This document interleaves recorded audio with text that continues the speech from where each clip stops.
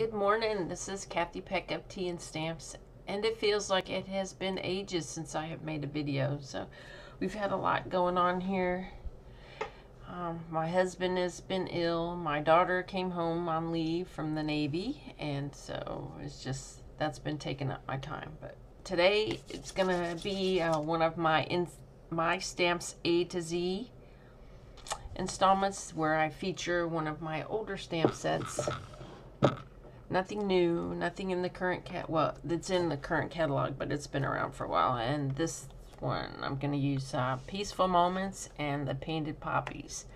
These two came out as a collection with with with paper embellishments, um, oh, all kinds of stuff. I think it was two years ago, but it's still in the current catalog. There's a die set that goes with it, but today we're just going to use the stamp pads. But let me show you where it is in the catalog. It's one of those sets that I consider timeless. On page 29, yeah, they're painted poppies and the peaceful moments, which are the nice sentiments, which has a mixed font uh, stamps, and then here's some really cute samples over here. A background paper, here's some one of the dies. And then here's some more dies. I, I really, really, really like this set. And I haven't I haven't used it enough this year, so I thought I'd bring it out for one of my my stamp A to Z. And even though we've skipped from whatever letter I did last to P, but that's okay. All right, so for this particular technique that I'm going to do today, I, I like to use my Stampin' Pierce mat. Um, because I need a little, this is a hard desk with paper and I do have one of those little foam pads under here, but I need something a little thicker to get the result that I, I want.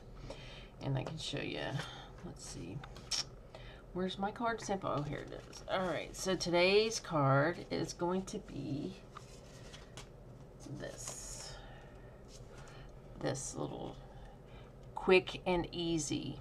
Um, and this, I think this particular layout lends itself to any sentiment here. You could use any sentiment from this stamp set. Um, thinking of you with all my heart. Uh, thank you with deepest sympathy. Happy birthday.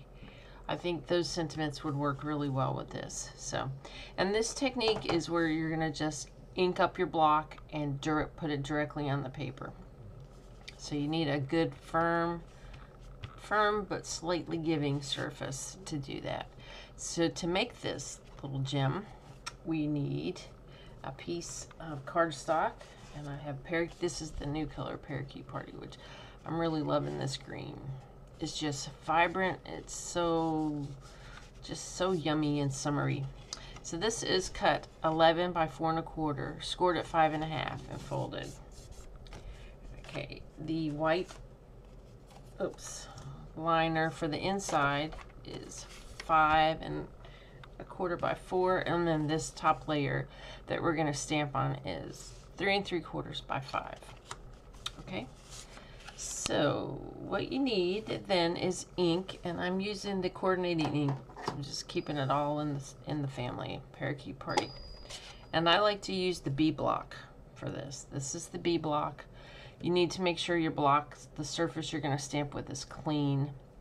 I usually wash my blocks like once a month because I do manage to get all kinds of gunk on them and when I have classes they get they get a little dirty and so I wash them just in warm soapy water. Sometimes if I have some really nasty glue that won't come off I will use a little lemon or orange essential oils and it gets it right off and then I wash it right away because you don't want the lemon or the orange essential oil to corrode your your block, which it will.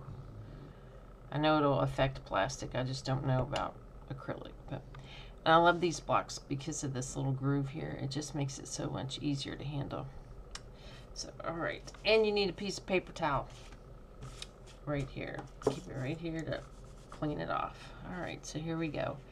Um, you can go any orientation with this, you know, this vertical, horizontal, whatever you want, but you want to stamp three, and I like to just stick it in here and get it nice and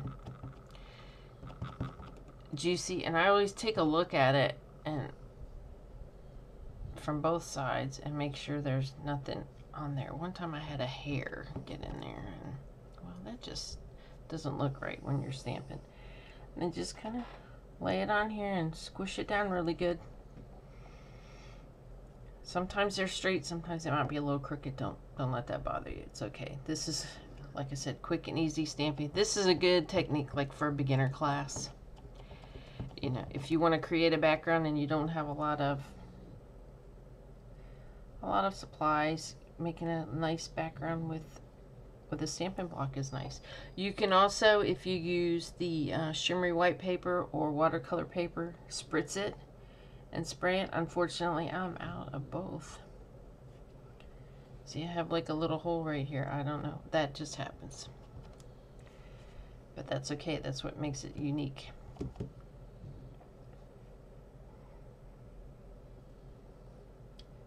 think I'm going to fill in most of it when I hit it with this block. You have to really give it a good firm press. Okay, well we didn't, so scrub that off. All right, so that that's it. That's that's done. So we'll get our Memento Black.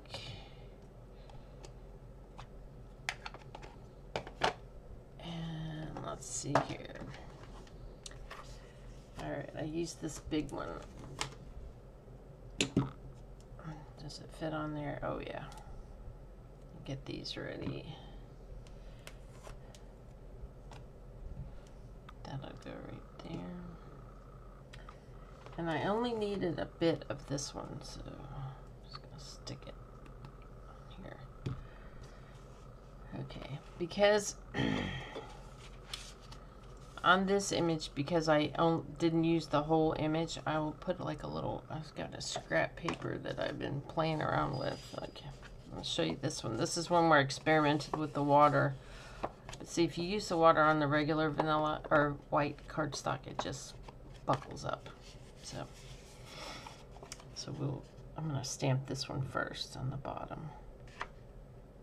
I'm going to mask it with this. I'm going to go just slightly below the, the block image because if you'll see in this card, I didn't do that. I I put my mask too close to, to the edge and it didn't come all the way through. So I'm thinking if I back it up a little, it probably would be better if I had a thinner paper too, but I don't right now. I like to stamp these on here to see how they're looking. This ink pad is looking a little dry today. Let's try it this way.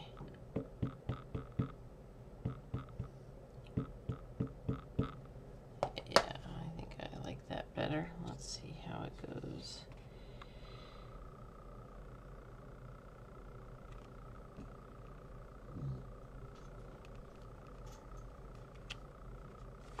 But still, I have the same same effect. I guess I need to use just a mask mask to get it to do it right the next time. Okay.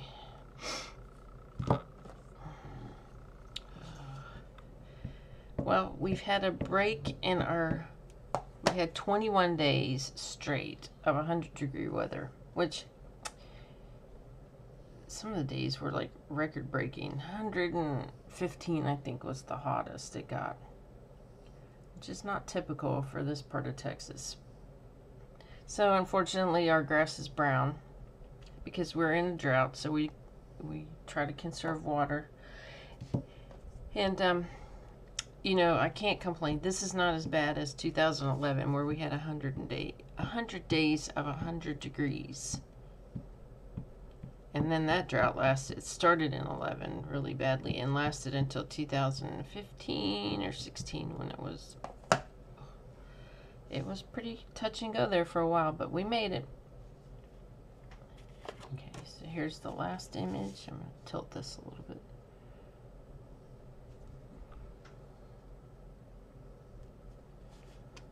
Okay, there you go. That's that's that. Now we're ready for the sentiment. Let's see. I think I want to use the sympathy one today.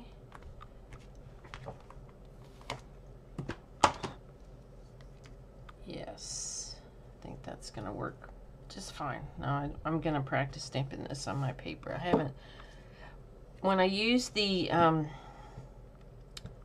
the red rubber stamps, sometimes, you know, I don't actually get the little stickers on there quite in the right places.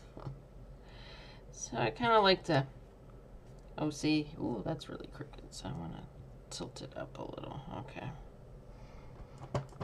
I, so I practice on a scrap paper or on my grid paper to kind of get an idea of how I have to stamp this. I think I'm, wish me luck.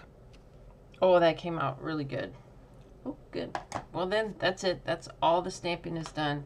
Now, to, to add a little interest, um, I could, you could splatter some ink on here, you know, like with the Stampin' Write marker, just fill up this little space.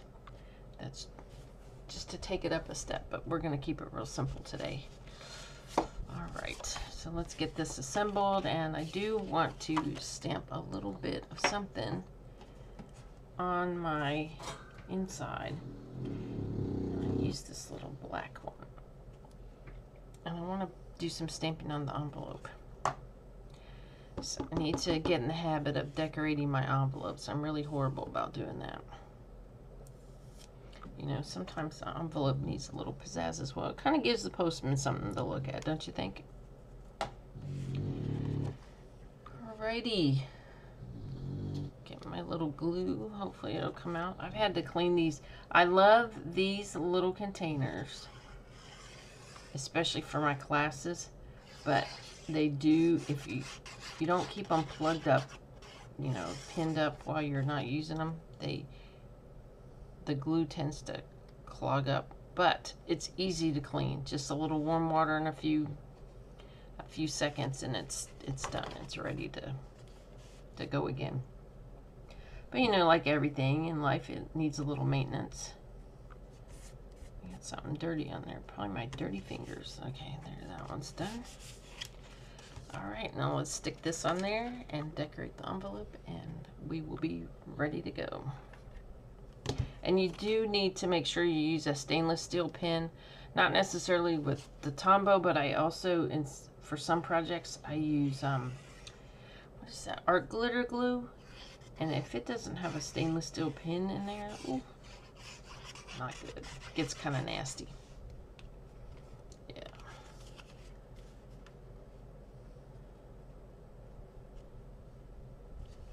How's that? Oh, that looks good. All right, let's do something to the envelope real quick. I want to do similar technique.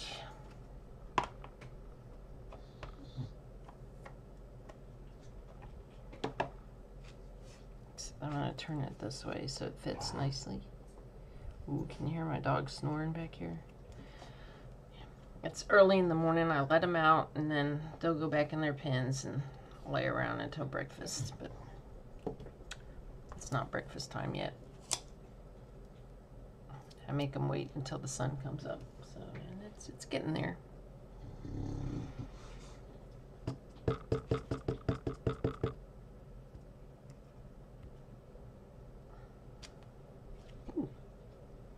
There we go.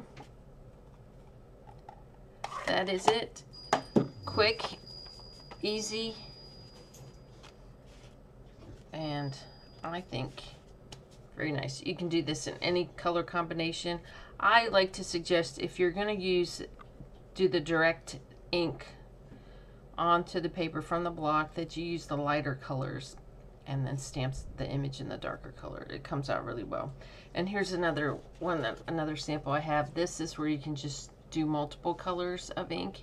And this is that Dragonfly Garden. I just need to add a sentiment to here. But here I use like Calypso Coral, so Saffron, and I think that's Pear Pizzazz. But yeah, that's it. So that's what you can do with that. All right, thanks for joining me today. Again, this was Cathy Peck of and Stamps. If you follow, if you, let me start over again.